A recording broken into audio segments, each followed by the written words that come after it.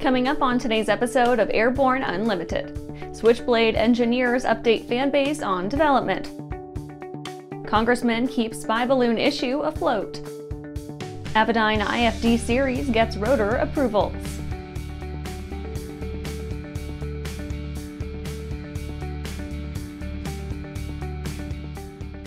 Welcome to Airborne Unlimited. I'm your host, Holland Lee. Let's get into today's stories. Switchblade engineers update fanbase on development. The team behind the Switchblade flying car has updated their fan base on the aircraft's current state, describing their recent issues, challenges, and desires for the program. The most recent news pertains primarily to polishing certain aspects of the design, less than a year after they completed a successful test flight. With many of their bases covered, Switchblade staff are looking to decrease production costs through refinement of existing processes and procedures, and snagging whatever performance improvements they can in the process. Noting that all its quote aerodynamics, flying quality, slow speed handling, takeoff characteristics, and landing ease were just what we had hoped for, end quote. They know that customers will always demand greater payload, faster speed, and longer range. Thrust and drag improvements to the propulsion system will hopefully provide a little boost to top-end speed and performance, and a larger wing should provide a lower approach speed with increased useful load. The team is mulling over wing refinements that would not only, quote, reduce maintenance and assembly times, but also provide for better performance and lighter weight, end quote. Quote, we are not done by any stretch of the imagination, but we are very well along with the production design and will be going back to the wind tunnel soon to validate our proposed changes, end quote. And after the break, Genesys Aerosystems to offer autopilot on Enstrom 480Bs. Backcountry flying to us is our playground. For us, it's how we access the things we like to do. It's just our lifestyle.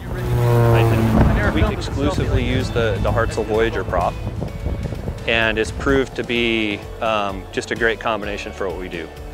What it's doing, it's, it's helping us all have better performing airplanes.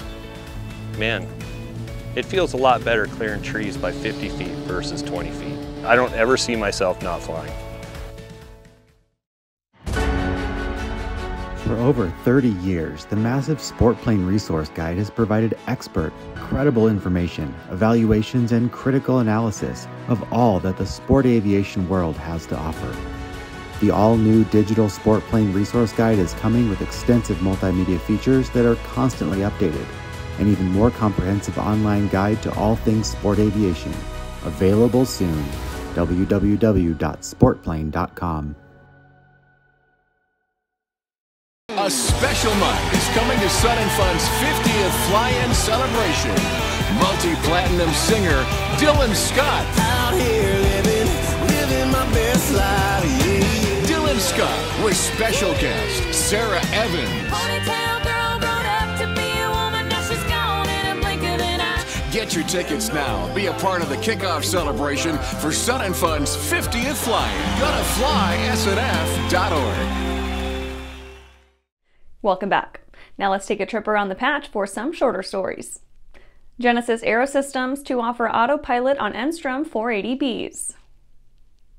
Genesys Aerosystems will begin providing its Genesys helicopter autopilot in the Enstrom 480B this year, following installation and certification. The roadmap for this Genesys 3-axis VFR autopilot believes that certification will be completed soon, with the unit available for factory fit or aftermarket retrofit by the end of 2024. Interested 480B customers can have the autopilot installed by Enstrom itself or by any approved Genesys dealer. The autopilot system is a lightweight and affordable addition to the 480B, offering all the functionality of a standard three-axis system like heading, nav, approach, VSI, indicated speed, and altitude hold. Seaplane drags wingtip near Miami. A seaplane coming in to land near Miami, Florida overturned while decelerating, sending all seven passengers aboard on a stressful, even harrowing dip in the drink that ultimately ended in relative safety. A Cessna 208 on floats was meandering through a channel between Port Miami's cruise ship terminals and a connective causeway on its way back to the Miami seaplane base when it tipped over, dunking one of its wings in the sea.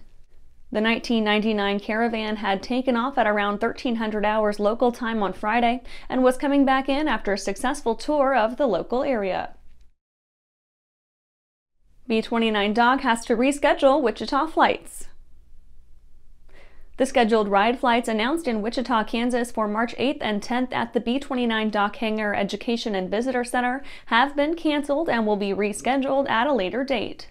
Josh Wells, B 29 Doc Executive Director, said, quote, during our planned and scheduled annual winter maintenance season, our team has been impacted by unforeseen and unplanned delays that ultimately led to the decision to make a change to our ride flight schedule in Wichita March 8th and 10th. End quote.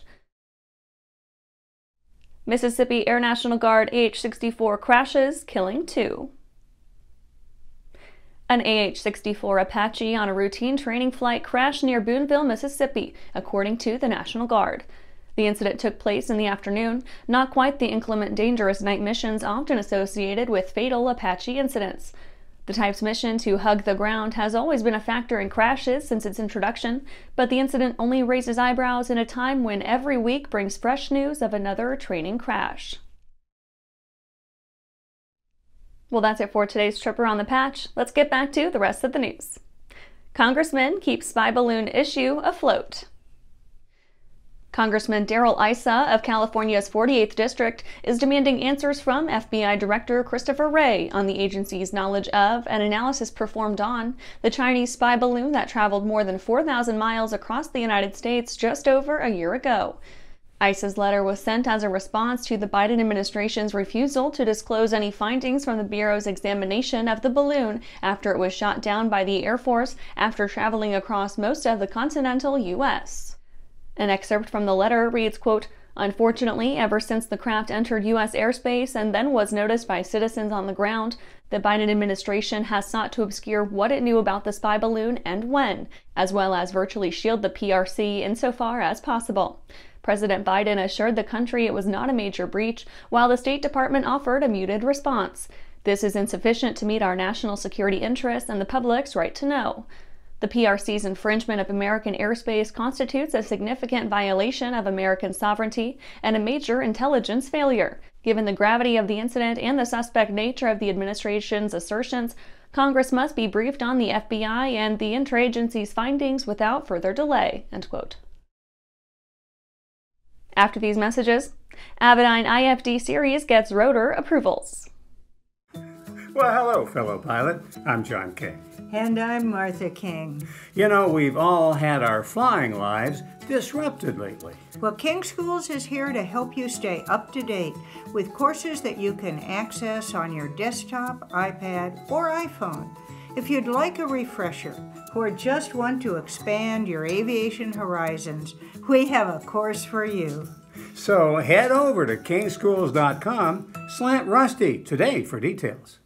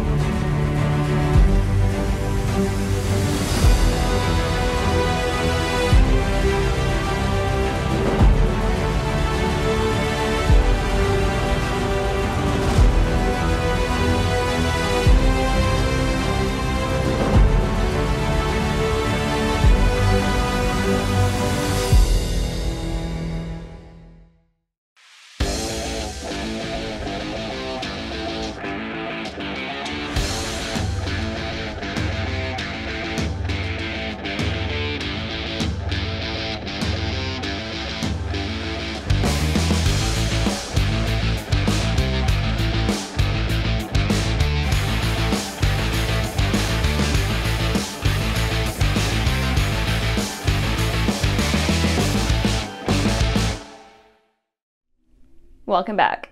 Avidyne IFD series gets rotor approvals. Avidyne is starting HAI with the news that their partner, UK-based Horizon Design Services, has received CAA approval and FAA validation of an approved model list supplemental type certificate for installation of the Avidyne IFD series FMS GPS NavCom systems as replacements for legacy GNS series navigators in nine different helicopter models.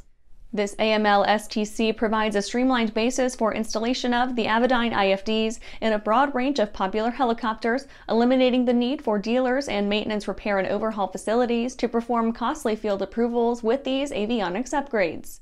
Avidyne President Dan Schwinn said, quote, We've had a lot of success with AML STCs in the fixed wing market, and we are really pleased that Horizon was able to move forward with this helicopter AML. End quote. The Avidyne IFD series are modern slide-in replacements for legacy GNS 430, 530W series navigators and can utilize the existing GNS trays, connectors, and wiring, dramatically reducing installation time and cost.